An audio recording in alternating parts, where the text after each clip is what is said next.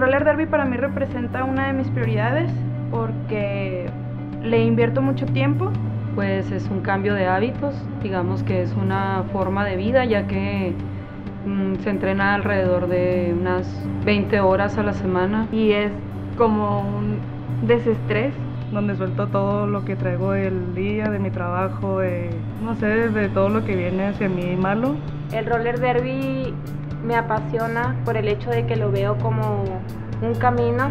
Desde que entré mm, fue así como que pura curiosidad, ¿no? Y no sé, me gustó el interactuar con toda esta gente, entonces fue como que encontrar una familia.